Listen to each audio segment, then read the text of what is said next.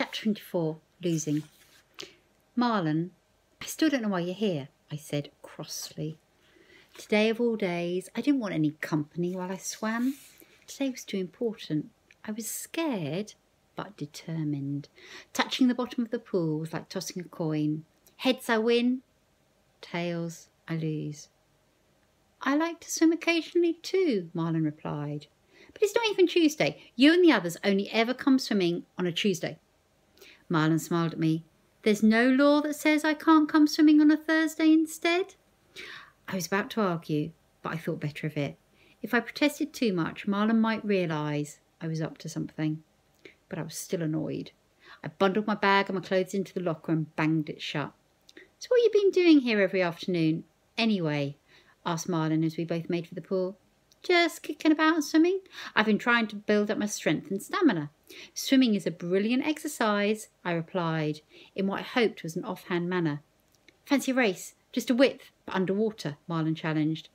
Under normal circumstances, I'd have snatched his hand off, but these were hardly normal circumstances. I didn't want to waste any of my energy on a race. I knew I didn't have that much energy to spare. I smiled. Maybe later. I sat down at the edge of the pool and slipped into the water. It was cool, verging on cold, and made, and made me gasp. I held onto the bar which ran around the side of the pool and kicked out leisurely with my legs to warm myself up a little. Marlon dived straight in and immediately struck out for the other end, edge of the pool. I watched him for a few moments. I was so glad Nan had talked some sense into me. It was a pain that Marlon had insisted on coming to the pool with me today but I was glad we were still friends. I think if it hadn't been for Nan, I might never have been a never have had the sense enough to let go of my anger. It was strange the way things turned out. Before my heart operation, everything had seemed clear. I didn't have long to live, so I knew what my priorities were my family and my friends. Yet after my operation, for a while, my priorities had become completely messed up. So, what was important to me now? I couldn't see past touching the bottom of the pool.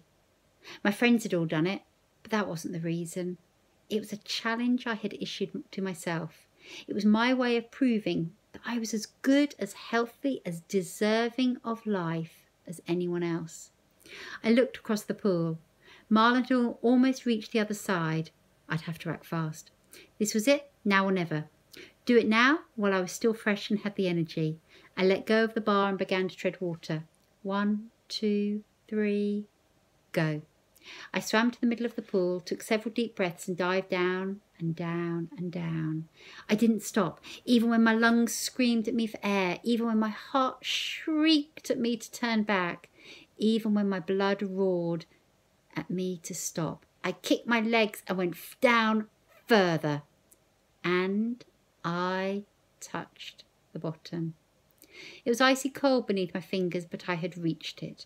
Elated, I turned round and kicked against the bottom of the pool to give myself an extra push back to the surface. Except the surface was a long way away, and halfway up through the water, I knew I wasn't going to make it consequences. Chapter 25 Walking on the Moon. When I opened my eyes, I was laying flat and a brilliant white light was blinding me. I thought I was dead. I really did. Until I heard a scraping sound beside me, and then Dad's anguished face swam into focus above my own. I smiled at him, but he didn't seem to see it. He stared at me, misery clouding his eyes. I tried to speak to tell him I was glad to see him, but my mouth didn't seem to want to work. I'm all right, Dad, I hope my eyes told him what my mouth could not. In fact, I was better than all right. I was alive. Rest could wait. I closed my eyes and fell asleep. When I woke up, Mum, Dad, Nan, Dr. Elric, and Dr. Bryce were all standing around my bed. What happened? I whispered, confused. Then I remembered the swimming pool. How did I get out of the pool? Marlon saved your life. Mum told me, her expression grim. Oh, first Dr. Bryce, then Marlon. I tried to laugh, but my throat was still hurting. It's not funny, Cameron, said Dad. When you get out of here, you and I are going to have a long talk. And at that, Mum burst into tears. Mum, don't cry. Please don't cry. I tried to sit up, but I didn't have one gram of strength left strength in my body. Mum, you'll upset Alex. Please don't cry. I'm okay now, really I am. Cameron, Dr. Bryce began. He and Dad looked at each other across my bed, and I knew in that instant what was coming.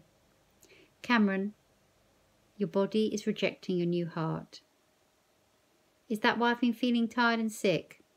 How long have you been feeling that? Dr. Bryce asked me sharply. Just a week or so. Why on earth didn't you say? Why didn't you tell me the truth yesterday? We could have taken you into hospital. We could have amended your anti rejection drug therapy earlier, Dr. Bryce said, distraught. That wasn't exactly why I hadn't said anything. I needed to finish what I'd started. It's not his fault, it's yours, Mum ranted on Dr. Bryce. Why did it take you a week to get the results of his last blood tests? The first set of results got contaminated, Dr. Bryce answered. We had to run all the tests again. Mum, it's okay, I smiled. It wouldn't have made any difference. You don't know that, said Dad. And yes, he was right. I didn't know that, not for sure, but I felt it was right. I was right. So what happens now? I whispered. Do you give me more anti rejection drugs? I don't think we can do that. It would just postpone the inevitable. Your heart is fighting a losing battle. The only way forward now is to have another heart transplant. And we have to do act within the next few days before you become too weak to survive any surgery. Another pig heart transplant, I asked. Yes, of course. Is that the only way? asked Dad. I'm afraid so. I don't think Cameron's heart will last much into the new year otherwise, said Dr. Bryce. I smiled at him. I liked the way he was as blunt as ever. Poor man didn't look any happier than my mum and dad. I realised that his brusque manner was his way of coping with things. He must have been through a lot with all the abuse he'd received over the years, with all the abuse he was probably still receiving. How's the other heart transplant patient doing? I asked. She's doing fine. It took her longer to recover than you, but now she's making excellent progress, Dr. Bryce replied. Good. I'm glad. And I was. I'd hate for your research to have to stop now. Dr. Bryce turned to my mum and dad. I've spoken to the senior registrar here, and she reckons Cameron can probably go home tomorrow. Saturday, Sunday, at the latest. I think if we arrange for Cameron to come back to the clinic on Tuesday, we'll schedule the surgery for Wednesday. Dr. Bryce, I don't want another heart transplant operation. Dr. Bryce wasn't the only one who was shocked at my words. He frowned deeply what are you talking about? I don't want another operation. Why not? Cameron, what are you saying? Cameron, you can't give up now. Cameron, have you thought about this? The only one who didn't jump down my throat was Nan. Mum, Dad, I don't want another transplant, I said. It's hard to explain, but try, Mum said immediately. It really was strange the way things worked out. Mum had been so against the operation at the beginning, and now she was the one really pushing me to have another one. Would it make a difference if your second transplant was from a human donor rather than a pig? Dr. Elric asked me. No, I replied at once. No difference at all. Then why not? asked Mum. Dr. Bryce, if I had the second operation, how long would I have to take all those drugs you've been giving me? Probably the rest of your life. But isn't it worth it if they keep you alive? But they're making me sick and I'm beginning to get tired all the time. It's like before my operation. But as I said, we can fine tune the dosage until we hit upon a drug regime that suits you, Dr. Bryce argued. I don't want the rest of my life to be made up of pills and potions and injections and nothing else. I don't want to feel sick and tired all the time. That won't necessarily happen, said Dr. Elric. But the second transplant has less chance of succeeding than the first. Dad frowned. Where did you hear that? I read it on the internet, I said. You can't believe everything you read, Dad told me. You know that. Yeah, I know that. But a while ago, Mum said something about me being special. She told me that I'm not just special because of my heart, and I shouldn't think that. But I began to. I began to think that my new heart was all I was. That's why I wanted to touch the bottom of the swimming pool, to prove to myself I was something more. Dr. Bryce shook his head. I don't understand. I'm not sure I understand myself, I admitted. All I know is it's the quality of your life that counts, not the quantity. I've been very lucky so far, and thank you for everything you did for me, Dr. Bryce. I really do appreciate it. But enough is enough. I want my life back, even if it's only for another few months. And what about Alex? Mum asked. I'm going to try to hang on long enough to see her or him. After that, whatever happens, happens. So you're going to give up? Dr. Elric said. Of course he isn't. He just wants to fight in his own way, said Nan. I knew Nan would understand. But I'm not going to stop taking the anti rejection treatments, I said. They'll just slow down the process. They won't stop it, Dr. Bryce protested ve- vehemently. Cameron, your body will still reject your heart, and you'll, all you'll do is buy yourself a few more months. That's all I want, I smiled. I want to be able to say goodbye to Alex in person. I don't think you've thought this through, Dr. Bryce began. I turned. I sorry, I tuned him out of my head. I looked up at Nan. She smiled at me and took my hand. I want to speak to Cameron alone. Could you all disappear for a while? she said. Reluctantly, Mum and Dad. Oops. Sorry. Leaning on my knee. And the others left me left my bedside. You do understand, don't you, Nan? I asked anxiously. I hadn't been wrong about that. Oh, yeah. Nan sat down on the side of my bed. You set yourself a goal, and now you've achieved it. You've touched the bottom of the swimming pool. Something in her voice kept me silent. It's a shame you never knew your grandfather. You were named after him, you know. I nodded. I know. He died of lung cancer. I knew that too. What was Nan driving at? He wanted to live so much, he tried everything. He finally gave up his precious cigarettes, although he left that too late. He'd had chemotherapy, drugs, you name it, he tried it. He wasn't going to give up. And you think that's what I'm doing? Well, you've touched the bottom of the swimming pool, Nan smiled. What else have you got to live for? What else is there worth fighting for? I frowned at her. That's not how it is. I know, Nan said gently. You feel sick, and we both know you'll probably get sicker. You're in pain, and it'll probably get worse. Is this meant to make me change my mind? I raised my eyebrows. It's meant to make you think, Cameron. Life is very, very precious. Don't let go of it. I watched my granddad fight and lose, but at least he fought. He fought every step of the way. Can you say the same? I turned my head away from her, disappointed. Nan's gentle fingers turned my head to face her again. Cameron, you've touched the bottom of the pool, and good for you. If that's what keeps you going, find another challenge, and another one after that, and another one after that. I'm not going to lose you, too.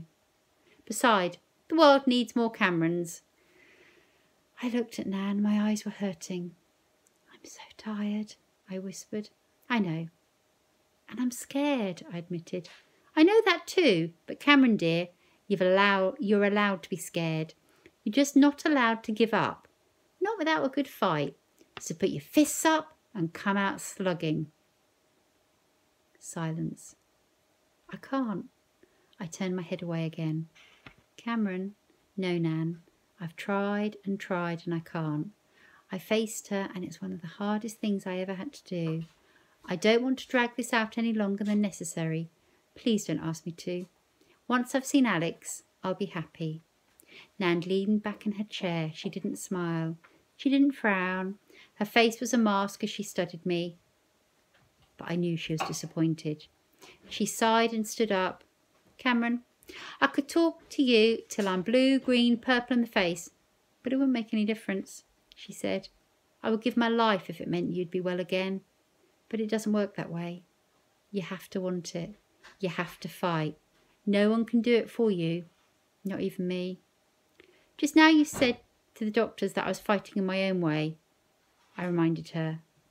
Lying on your bed feeling sorry for yourself and getting ready to give up is one way of fighting. The easiest, the least productive, saddest way, Nan told me.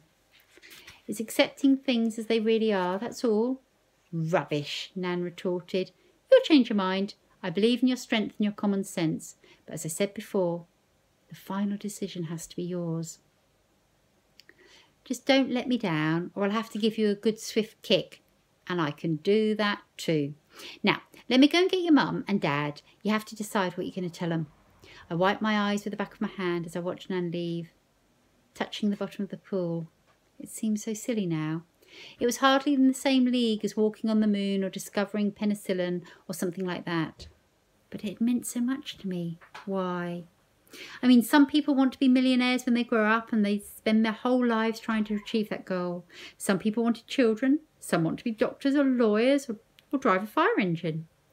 Maybe deep down, so deep down that even I wasn't consciously aware of it, I had never expected this operation to work. Was that it? Or maybe I'd begun to suspect that something was going wrong in the last couple of weeks. Is that why I came up with something just outside my grasp? Something to work for? Something difficult to achieve, but not impossible? Touching the bottom of the pool was my version of walking on the moon. So what next? Nan was right. Only I could decide that.